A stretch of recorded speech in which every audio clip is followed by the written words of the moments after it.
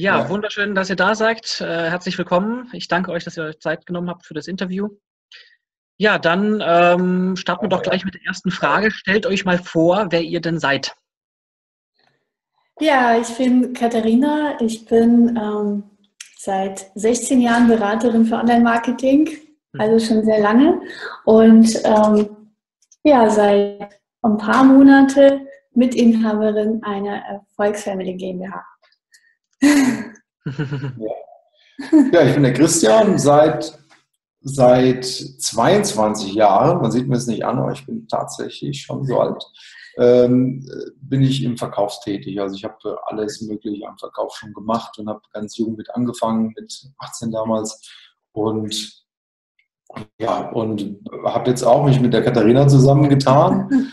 Und ja, wir haben so ein bisschen dieses Ding online die Online-Welt mit der Offline-Welt verbunden. Ja, das ist so unsere Mission, die wir haben. Wir lieben es, mit Paaren zusammenzuarbeiten und wir wollen die Leute wirklich erfolgreich machen. Darum geht es uns. Aber nicht alle, vielleicht kommen wir später noch zu, sondern wirklich darum, es geht, uns ist es wichtig, dass wir Leute finden, die ihr Herzensbusiness gefunden haben, also die wirklich das machen, was sie wirklich lieben. Mhm. Ich oder wir, wir sehen es eigentlich immer wieder draußen, dass die Leute schon irgendwie was tun, aber nicht so wirklich mit voller Power und Energie dahinter stehen. Und äh, das finden wir so ein bisschen schade. Es kommt so oft dieser Denker rein, so der Kopf rein und der dann irgendwie sagt, Mensch, da hast du doch eine bessere Möglichkeit oder hier ist die noch bessere Geschäftsidee und jetzt mach doch lieber mal das und stehen wir eigentlich nicht so für. Wir haben entdeckt, dass Leute, es egal wie toll die Geschäftsidee ist, wie toll das Produkt ist, was du vermarktest oder wie, wie gut äh, das System ist, wenn du dich da wohlfühlst in diesem, in diesem System, wenn du wohlfühlst in deiner Umgebung, wenn du dich wohlfühlst in dem, was dir dein Produkt, was du bekommst oder auch, auch wenn wir jetzt gerade im, im, im Multilevel-Marketing sind, in, in diesem ganzen, in der ganzen Umgebung, wo du bist, wenn du dich da wohlfühlst und zu Hause fühlst und das mit deinem Herzen machst, dann ist es richtig und dann kann man richtig durchstarten. Und diesen ja. Leuten wollen wir. Ja. Genau. Ja. Ja, das ist eine ganz tolle Vision und äh, das bringt uns eigentlich auch schon zu der zweiten Frage, ja. Wofür steht ihr beide? Was ist denn euer Kernthema? Ja, unser Kernthema hat Christian schon angesprochen. Wir haben Online-Marketing und Offline-Verkauf zusammen verbunden, mhm. weil natürlich kannst du alles online verkaufen. Aber es gibt auch natürlich Möglichkeit, auch persönlich zu verkaufen, aber auf diese Reichweite, die das Internet bietet, einfach zugreifen und Leute so in die Gespräche holen, die Verkaufsgespräche ja. und da verkaufen. Und ähm, wir kümmern uns einfach verstärkt um die Paare, weil wir mitgekriegt haben, oder wir selber sind ein Paar, geschäftlich wie privat, und haben ein, wo wir dann unsere Kernkompetenzen, unsere Kraft und unsere Energie zusammengebracht haben, gebündelt haben, da ging es erst richtig los, ja. aber so richtig los. Und das wollen wir den anderen Paaren beibringen, weil die Paare können sich komplett zerstören, die können sich komplett sabotieren. Aber ja. wenn sie das aufstellen, wenn sie in eine Richtung schauen, geschäftlich wie privat, dann passieren unglaubliche Dinge, sind unglaubliche Sachen möglich. Dann geht der Turbo da los. Ja. ja, cool. Ja. ja. das erlebe ich tatsächlich auch selber. Wir haben ja ähm, viele Paare, die wir auch begleiten und äh, das ist echt cool, ja. Das ist, ähm, wie man sich äh, der eine mit dem anderen ergänzt, wie man sich pushen kann gemeinsam, ja, das ist eine echt coole Vision. Ja, und ähm, was ist denn so der Punkt gewesen, wo wir gesagt haben, okay, jetzt haben wir den Knackpunkt erwischt, jetzt haben wir die Phase oder den, den Zeitpunkt, wo wir sagen, okay, jetzt haben wir es, jetzt haben wir es eigentlich raus. Was war das so bei euch? Ja, das war weiß gar nicht, wie du das siehst, aber ähm, also ich glaube, das war wirklich dieser Punkt, wo wir dann gesehen haben, es gibt, es, also wir sind ja viel, worum, also wir, wir haben uns im Übrigen auch auf, Semi, auf einem Seminar kennengelernt. Wir sind also Seminar-Junkies ja? und Persönlichkeitsentwicklungs-Junkies und, und Verkaufs-Junkies und, und, und wir haben uns wirklich viel angeguckt auch und so und haben immer gedacht, Mensch, auf der einen Seite Verkauf, kannst du dir angucken, gibt es super Leute da draußen. Auf der anderen Seite im Online-Marketing, reine Online-Trainer, gibt es mittlerweile auch richtig starke Leute. Aber die, diese Verbindung zwischen diesen beiden Sachen, da, da ist immer so, das, das, das ist nicht immer, läuft nicht immer rund miteinander, hatten wir den Eindruck. Und, und das war eigentlich unser, unser großer Knackpunkt, als wir uns irgendwann mal gesagt haben, Mensch, wir sind jetzt ein Paar und wir lieben uns und irgendwie wollen wir beide Business machen, lass uns das zusammenlegen. Ja. Lass uns daraus wirklich eine wirklich starke, also die Energie bündeln und wirklich was ganz, ganz Starkes und Großes machen. Und das war eigentlich unser Knackpunkt, wo wir gesagt haben, wow. Das ja. war so der, der, der große Start von der, von der Schubrakete. Ja, okay. ja das glaube ich, ja. Und das zweite war, glaube ich, auch, wo wir dann, dann auch für die Paare entschieden. Genau. Wo man gesagt ja. haben, Mensch, natürlich, es sind nicht nur Paare, die wir begleiten, ne? Aber wir haben, wir haben so ein Herz für die Paare entdeckt. Das hat auch ein bisschen was mit unserer persönlichen Geschichte zu tun. Mhm. Und, ähm, und das war auch nochmal so ein Thema, wo wir gesagt haben, wow, da kribbelt's. Ne? Wenn man sagt, Mensch, Paare wirklich dabei zu helfen, dass sie ihren Weg gehen, die Familie so ein bisschen zu stärken und äh, diese ganzen Geschichten, ne? das war uns eigentlich, das ist eigentlich das, was uns wirklich ja. ja. wichtig war. Oder was war die Frage, was der Knackpunkt war? Ne? ich ja. glaube, das ist, wenn du dein, dein Warum gefunden hast, wenn du dein Ziel ganz klar vor den Augen siehst und es kribbelt, dann geht es auf einmal los. Und wie ich gesagt habe, da ist auf einmal, es passieren einfach Sachen, die das möglich machen, dass du da durchstartest und dass, dass du der Welt hilfst und dass du auch dein Geld verdienst, vor allem. Ja. Ja. ja. Das heißt, so ein bisschen Zielgruppendefinition, ne? Zielgruppendefinition ist auch so ein Thema gewesen, wo er dann gesagt hat, okay, mit dem zusammen habt ihr das dann gefunden, richtig? Ja, das hat uns einfach, ich habe jetzt war gerade ein Hänger, aber ich glaube mit Gruppendefinition, also mit der Zielgruppendefinition, ja, das war so ein, mhm. Wir haben uns da nie so Gedanken gemacht. Und wir merken es auch mal draußen, die Leute machen sich da zu wenig Gedanken. Die denken, ach, ich will jedem helfen, ich kann jedem helfen und oh je, den muss ich auch haben. Und ähm, das ist irgendwie verrückt. Ne? Das ist, wenn man anfängt zu sagen, nein, ich will nicht mehr jedem helfen, mhm. da kommt der Erfolg. Das ist irgendwie, also haben ja. wir es erlebt und so erleben es auch immer wieder mhm. unsere Coaches. Ja. Genau, also das war für uns praktisch ein Aha-Erlebnis, ja. wo wir dann den Gedanken haben, boah, da sind die Paare. Ja. Und dann haben wir gesagt, wir können das machen, wir können den Paaren so helfen und so. Wir haben beide unglaubliche Kompetenzen, nicht nur was Online-Marketing angeht oder Verkauf angeht oder Persönlichkeitsentwicklung angeht oder dieses Paarthema angeht. Ne? Aber wir können allen helfen, im Endeffekt. Aber wo dieser Gedanke kam, wir wollen den Paaren helfen, und zwar bestimmten Paaren, die zum Beispiel zusammen Business machen, da kam dieses ja. Wow, jetzt ja. geht's los. Und dann haben wir die auch angezogen. Ne? Das war genau. dann also wirklich, dann haben wir Aufträge bekommen und dann haben wir Kunden bekommen. Also es ging dann ganz, ganz schnell, also per Turbo-Booster quasi. Genau. Ja. ja. Und das okay. ist auch das, was wir auch den Leuten mitgeben wollen. Vielleicht, wenn das irgendwer draußen sieht, spezialisiert euch auch, macht euch auch Gedanken darum, wem ihr helfen wollt, wem ihr wirklich hier mit dem Herz helfen wollt. Ja, mhm. ja. ja cool. Also eine ganz tolle Vision und natürlich eine super wichtige Message, die wir da draußen verbreiten müssen. Ja, wir können allen helfen, das ist so, ja. ja. Aber ähm, es hilft nicht allen zu helfen, sondern es hilft nur, wenn wir wirklich ganz gezielt den helfen, den wir akut helfen können, wo wir wirklich unser Herz haben, wo wir alles Energie freisetzen können dafür. Ja. Also die, die muss einfach passen. Ne? Es ja. gibt immer, ich sage ja, es gibt, für jeden gibt es eine Zielgruppe, für jeden gibt es Kunden. Mhm. Nur muss man die halt einfach finden und nicht nur der Kunde, der mit dir arbeiten möchte, sondern du musst ja mit dem auch arbeiten möchtest. Du musst ganz genau wissen, ich kann ihm helfen. Erstens, ich will ja. ihm auch helfen. Ja. Und äh, das ist das, was wir jetzt einfach als Erfahrung äh, mitgenommen haben für uns mhm. und was wir auch unseren, unseren Coaches mitgeben und was die auch damit für Erfolge feiern, das ist unglaublich. Ja, genau das ist das große Thema. Also wirklich sich zuerst die Frage zu stellen, ja. will ich dem helfen? Das ist Punkt eins. Es kommt für mich vor dem Kann überhaupt. Und danach kann ich ihm helfen. Und danach die Frage sich zu stellen, will er von mir geholfen bekommen? Das kommt dann als drittes. Und so gehen wir eigentlich die Sache ran. So ist die ganze Strategie aufgebaut. Ja? Okay. Ja. ja. sehr cool. Also definitiv eine tolle Message, die, die ganz, ganz wichtig ist für alle da draußen, die äh, das sehen. Ja. ja, und was ist so für euch dann die größte Hürde gewesen, also die größte Herausforderung, die ihr nehmen musstet auf eurem Weg? Oh, welche? welche? Mit Sicherheit ganz viele, das ist richtig. Aber was war so die größte? Was war so der, der ja, es, wir am Anfang ja den Knackpunkt gehabt, okay, wann habt ihr äh, das rausgekriegt, wann hat es wirklich funktioniert? Aber was war davor? Was war so die Hürde davor? Uh. einige Hürden. Es gab einige Hürden. Also so ganz markante Hürde für mich war zum Beispiel, wo meine Welt komplett zusammengebrochen ist, wo ich, ähm, jetzt wird es privat, äh, mit meinen, also ich habe zwei Kinder, wo ich mit meinen zwei Kindern meinen Ex-Mann verlassen habe und am gleichen Tag den größten Kunden verloren habe. Ich stand mit nichts da. Ja. habe eine coole Entscheidung getroffen. Es war die beste Entscheidung meines Lebens, mal auf Reset-Knopf zu drücken, zu sagen, wir gehen auf die Weltreise.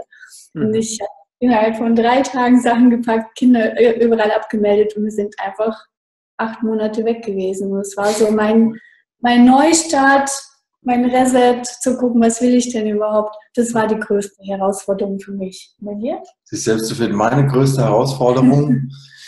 ja, ich, also ich glaube, es sind, man hat ständig Herausforderungen. Ich weiß gar nicht, wie man sie, die, ob man die jetzt so groß macht oder so klein macht. Das Leben ist ja im ständigen Wandel und ein ständiger Flow auch, ja. Und ähm, und es gibt aber ständig auch irgendwas, ich sag's mal so, ich will es mal so sagen, wenn du Unternehmer bist oder wenn du überhaupt agierst oder aktiv am Leben teilnimmst, nehmen wir es mal so, dann hast du, machst du vielleicht jeden Tag zehn Dinge.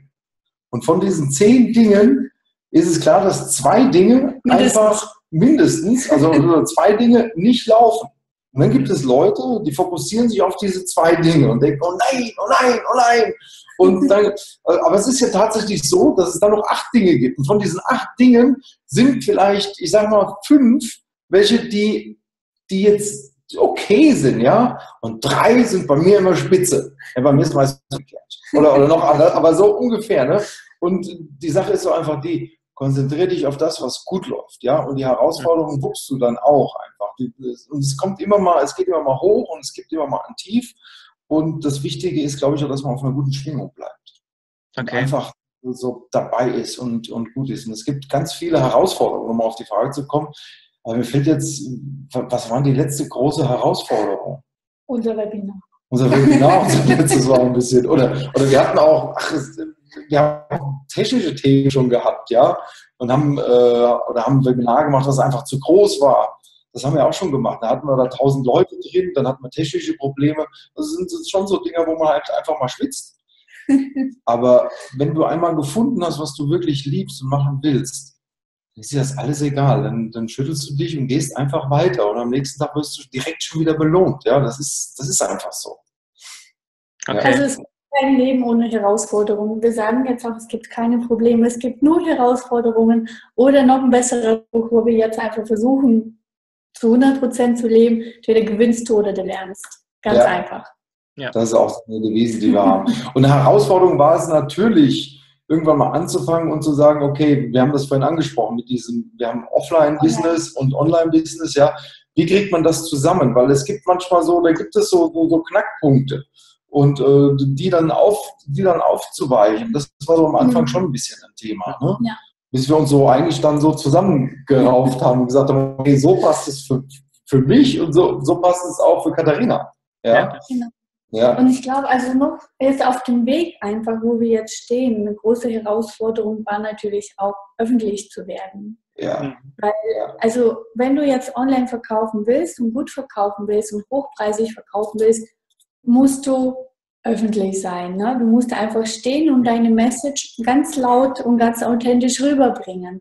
Und das ist, das war für uns auch eine Herausforderung und das ist, ich weiß, dass es für viele, viele Menschen draußen eine Herausforderung ist, wirklich dazustehen, zum Beispiel bei Facebook mhm. zu sagen, hier bin ich. Ich hatte nur mit Paaren, weil ich daran glaube, weil ich glaube, dass die Paare halt einfach diese Kraft haben können. Und das war herausfordernd, ja. Ja, ja. Was ist so eure Message, wenn ihr sagt, okay, das ist so die Herausforderung? Ähm, wie kann man das überwinden? Wie habt ihr das überwunden tatsächlich? Also ihr habt ja schon ein bisschen was erzählt, wie ihr das gemacht habt, aber gibt es da so einen kurzen, sag mal, so, so, so einen Aufhänger, wo ihr sagt, okay, das ist wirklich das zentrale Thema? Ähm, also ja, es gibt, also für mich, wenn ich mal anfangen darf, ähm, also es ist ja immer so, es gibt, manchmal steht man im Leben und man kommt nicht so richtig weiter. Du bist eingefroren. Schau, du hörst uns doch? Ja, ja, ich höre. Okay. Ja, doch, alles gut. Ja. Ähm, manchmal steht man ja im Leben, man kommt nicht so richtig weiter. Und äh, wenn das der Fall ist, dann kommen auch immer Leute und geben einem auch Tipps. Das habe ich auch schon erlebt. Ich habe so, so ein Ding erst vor drei, vier Monaten eigentlich aktuell gehabt. Da wusste ich, bevor wir dieses Ganze gestartet haben, ich wusste, ich will rausgehen, ich wollte Verkaufstrainer werden. Ich wusste nicht genau wie und habe dann verschiedene Dinge versucht. Und habe mir natürlich auch Ziele gesetzt, um Ziele zu erreichen und habe aber nicht das Richtige gehabt. Und das war für mich auch eine Geschichte, also es, es war nicht so stimmig 100 Prozent. Und, äh, und dann, wenn das der Fall ist, dann muss man, also, also habe ich es dann auch gemacht. Das war aber nicht einfach, weil du, du bist schon eine, eine, eine, Weile in eine Richtung gegangen und auf einmal merkst du, ey, das ist nicht meins, ja, das ist, das ist es noch nicht. Es gibt noch was Besseres. Und dann reißt du die Zelte wieder ab.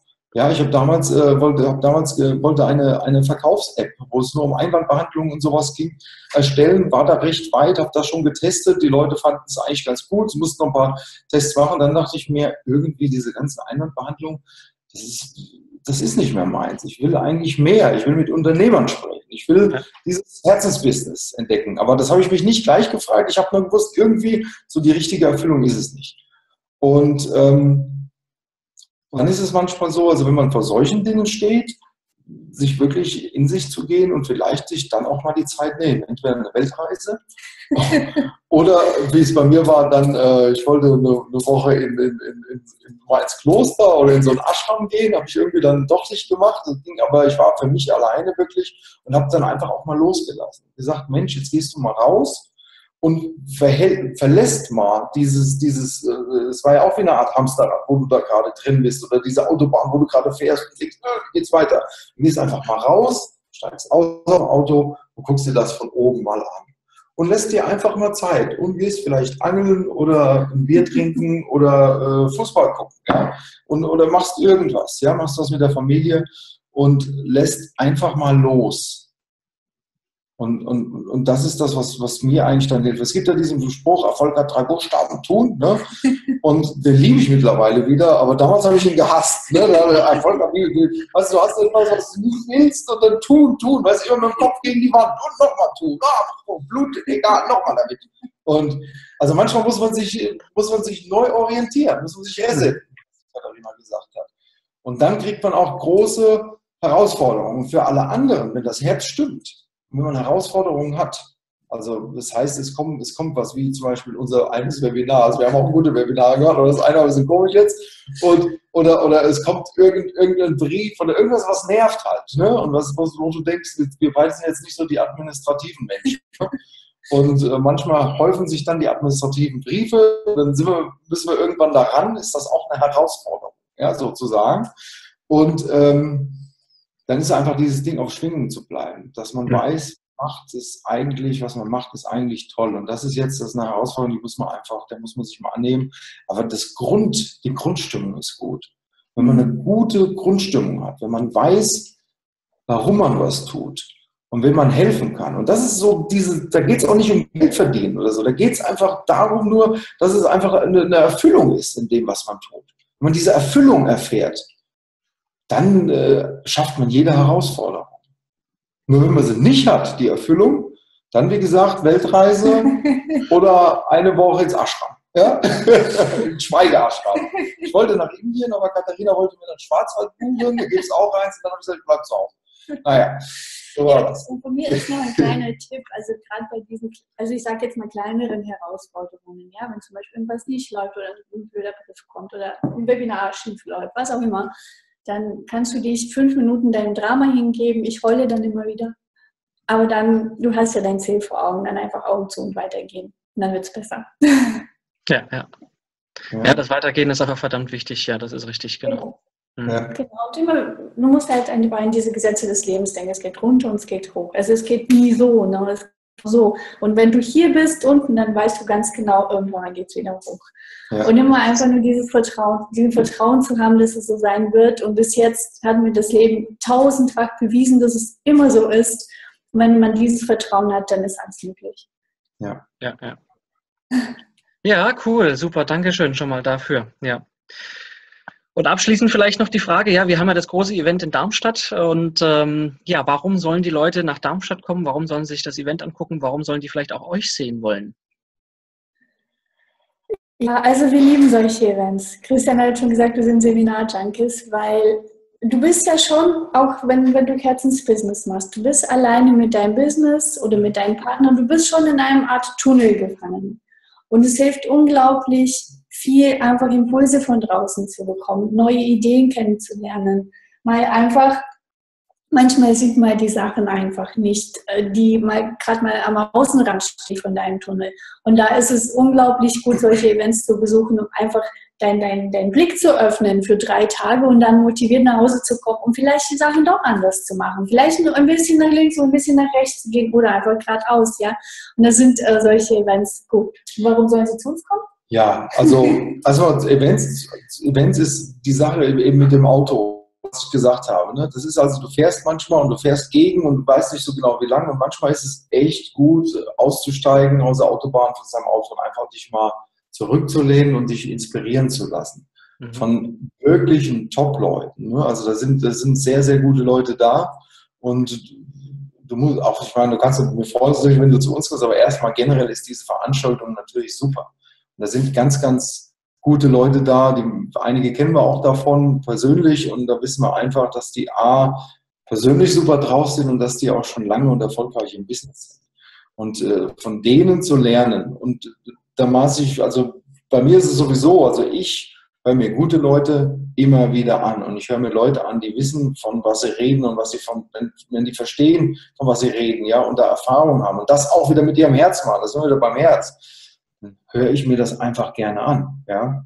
Und bei uns, ja, lernst du, du wirst lernen, wie kannst du deine Online-Geschichten optimieren? Wie kannst du deinen Verkauf optimieren, damit du erfolgreicher bist? Und darüber steht eigentlich, was uns wichtig ist, wie findest du das, was du machen möchtest, was du wirklich machst, wo du richtig Energie hast, oder? Ja, genau. Und dann zeigen wir auch in unserem Workshop, wie du dann Online-Kunden anziehst, und zwar Kunden, mit denen du arbeiten möchtest und die mit dir arbeiten möchten. Und dann brauchst du eigentlich nicht mehr auf Druck verkaufen oder so, sondern die wollen, die wollen, die wollen.